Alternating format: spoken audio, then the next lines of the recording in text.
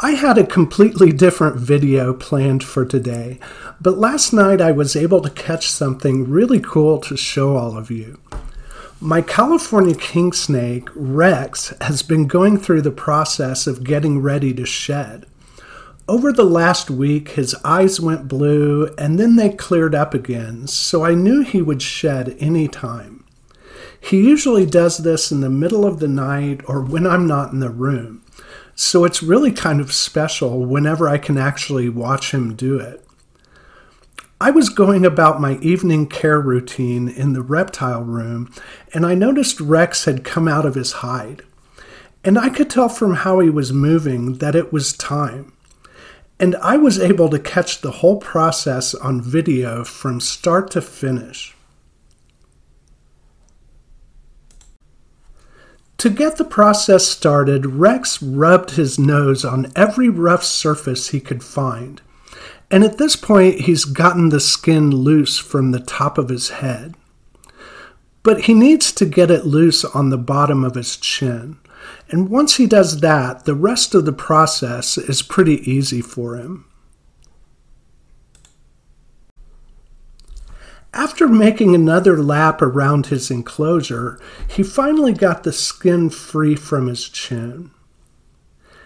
At this point, it's a pretty simple process, and I've seen Rex do it exactly like this many times. He moves around this piece of wood in a way that catches the skin on the wood. And then, as he keeps moving, he just slides out of the skin like taking off a sock. It's really an amazing and beautiful process to watch.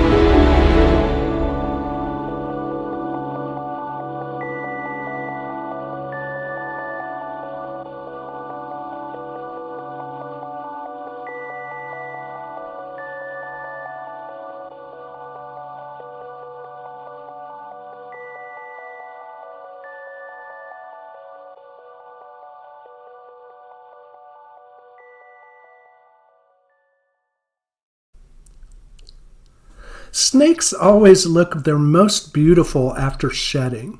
Their colors are their most vibrant, and their new skin is just clean and shiny. And this is especially true for Rex. The contrast between the white and the black is so intense. It's why I think the California king snake is one of the most beautiful species of snakes in the world.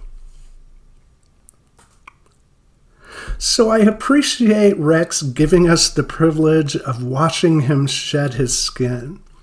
I hope you enjoyed seeing that. And I appreciate you taking some of your time to share with me. And I'll see you in the next video.